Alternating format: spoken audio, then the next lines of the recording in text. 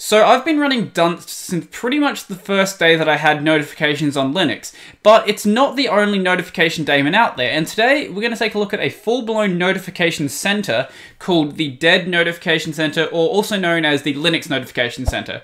So if you're new to the channel, you know what to do, and let's jump right into it. So first thing, I think I should actually describe what a notification center is. So if you've ever used Windows, you know how you have that um, dock on the side that has all of your notifications in it.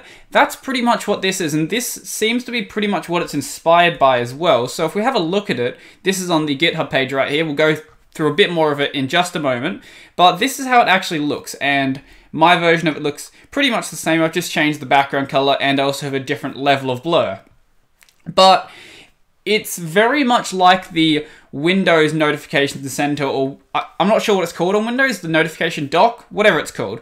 But yeah, it's it's a very Windows-esque thing. So if you're coming from Windows, maybe this is something that you're going to be interested in running, or maybe you actually care about not just seeing your notifications when they happen, but you also want to see them for a little while after, because then you could also do things like clear them when you're done with them, basically. So, this isn't a perfect program, and I'm going to talk about the problems I have with it, but it has seriously improved since when I first heard about it. So one of those improvements that I'm talking about is this right here. So if you notice, there's actually an image for the album art in Spotify and also a little icon for Spotify as well. So this will happen with Kdenlive and various other programs that actually have icons for stuff. So what was happening before was that it wasn't actually pulling in the images from like Notify Send and all of the standard ways of creating notifications. What it was doing instead was relying on something called notifysend.py, which some notification centers do use. The problem is, and some programs do use, but the problem with that is that not every single one of them does. So if you only have images from this non-standard feature, then it's not really going to work properly for those programs that don't use that feature. But now it will actually pull in those images from the standard method. So with Spotify here, let's just play a couple of tracks. So as we can see, we have the album art and we have the little icon. Now, if you don't like this, you can obviously disable it as well.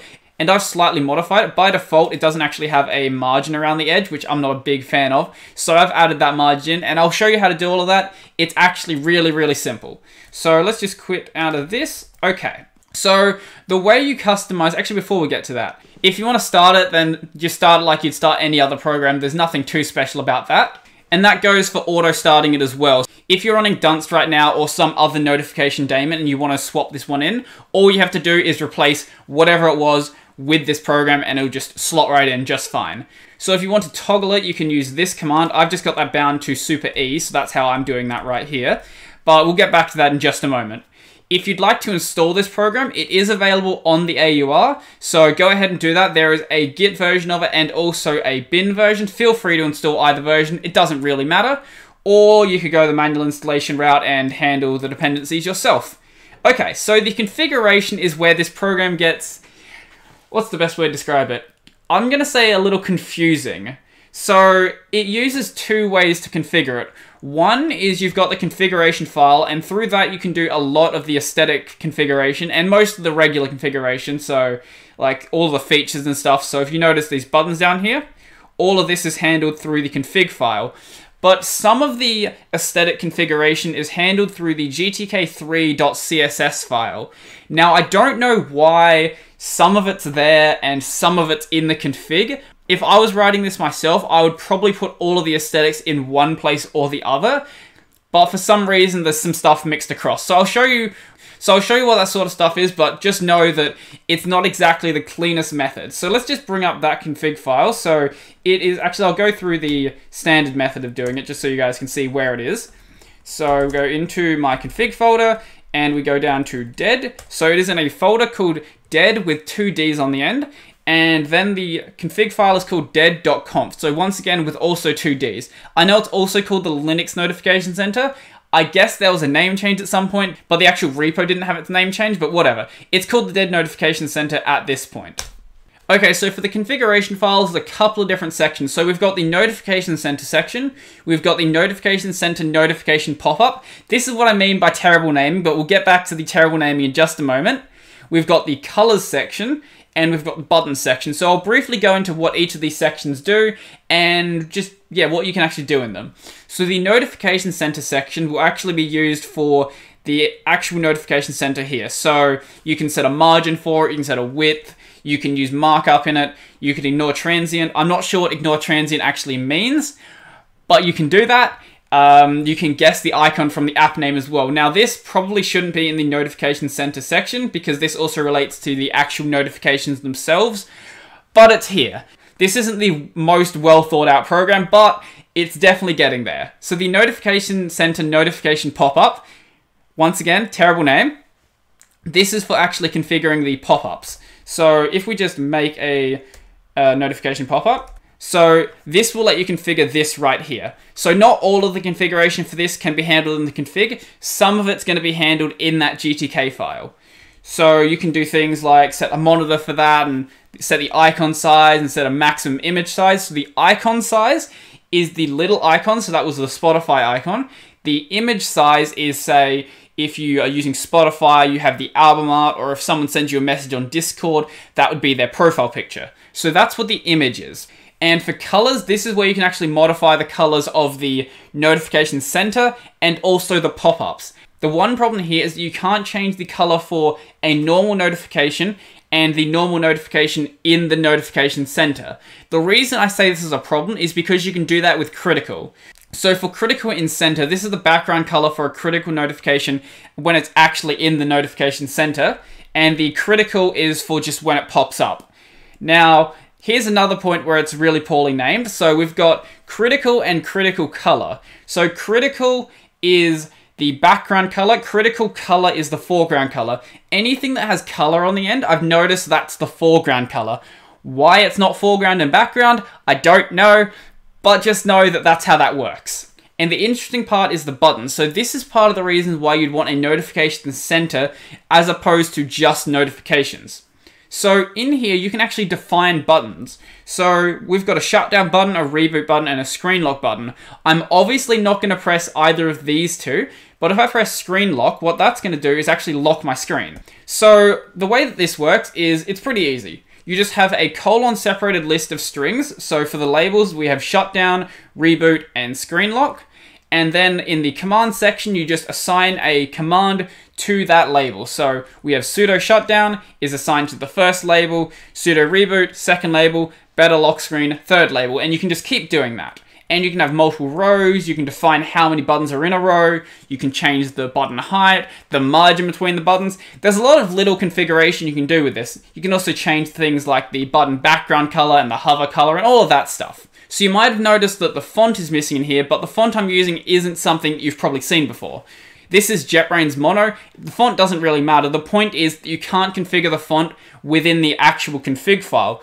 Before we get to the GTK file, one thing I should mention is that the transparency actually is controlled in the config file. So if you notice, all of my colors I'm setting with RGBA, so that's red, green, blue, alpha. So that's how I'm setting the colors. So I've got my RGB colors and then the last number on here is the transparency level. So I've got 0.8, which is 80% because that's just what I'm doing with everything else in my system. So let's just go to a clean desktop and you should get a clear view of that. So as you can see, you can see right through this. Personally, I'm a big fan of this, but maybe you don't want any transparency. And if you don't, you can either just use the RGB setter, you can use a hex value, or if you want to use RGBA, just set this value to 1, and that's 100% opacity. So let's just go have a look at that GTK CSS file and see what we can do over there. So if you don't know what this file is, basically it's in your config folder. It, I don't think it's generated by default actually, but it'll be in a folder called GTK-3.0, and if it's not here, just make this. If the folder's not here, also obviously just make it. So I've got a couple of settings in here, nothing too crazy. You're also going to have to have a look into what sort of CSS you can do in GTK. I don't know if it is the entirety of CSS3 or if it's a subset of it. So go look at the GTK documentation about what sort of CSS you can actually do. Now, as for setting basic things like the font family, the foreground color, the margin, all of this stuff, that works perfectly fine when you're setting it in the CSS.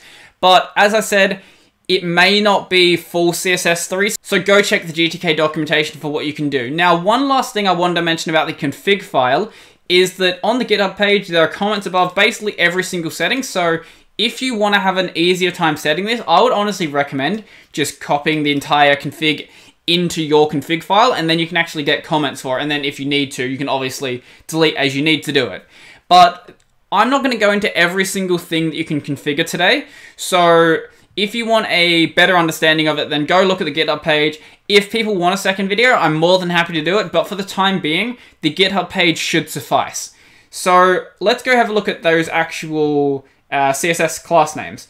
So they're all documented right here, and they're all pretty simple. They're really long, but they're all pretty simple. So the app name is this little app name right down here that says Spotify. The body is the main body of text, so this cold rain side effects. The title is the bit at the top right here. The image is the image on the left, and the icon is this little Spotify icon, or Kdenlive, or whatever other icons you have there.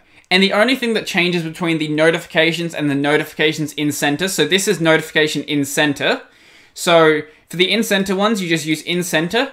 For the regular notifications, you just use notification. And when it is in the center, you also have a time on there, and you can configure that one as well with this line right here. Now there's also the button close, which is this little button on the side here, so you can configure that however you want to as well.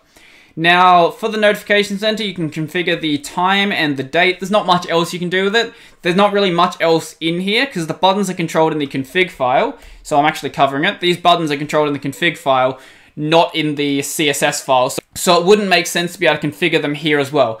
It still doesn't make sense why you use the CSS at all and not just do everything in the config file. It would be much easier like that, but that's just how this program's written at this stage. Now the last thing I wanted to mention is that you probably do want to bind a key to actually open up the notification center. You just run this command right here. So if we just bring that up in a terminal, we just run that, that opens the notification center, we run it again, it closes the notification center. So bind that however you feel like doing it. I have bound it within SXHKD. You can obviously do it however you bind keys in your system, but let's go down here. Kill, where is it? So all I've done is just bound that to super E and all it does is just run that command. I should probably check if it's open, but it doesn't really matter. If it's not open, it's just going to fail anyway. So I guess it couldn't hurt to just show you how to launch the program when you actually launch your window manager. Now, it's really easy to do, and I'm not actually running it as my main notification daemon right now, as you'll see through the way that I'm setting it. So I like to launch stuff through my xinitrc. There's plenty of other ways to do it, and someone's going to complain about this method, but this is how I'm going about doing it. So right now I'm using Dunst, but if you want to launch the deadd notification center, just go deadd notification dash center and then make sure you actually launch it as a background process because if you don't your window manager is just going to lock when that program launches so as I said, I'm running Dunst. You could put anything in here, so this isn't just for the deadd notification center or just for Dunst.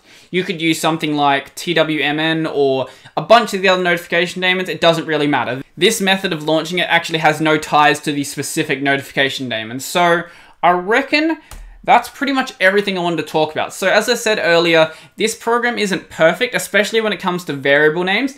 I know they're bad because I've written programs that have variable names that are this bad. They need to be fixed, and when they are, then I think it'll be a really, really good program. One thing I didn't mention as well is that there's a man page as well. There's just nothing in it. So, yeah, there's no man page, basically. So you have to go to the GitHub page to find out how to configure it, which is a little annoying, but I guess it's not the worst thing. At least there is some form of documentation somewhere.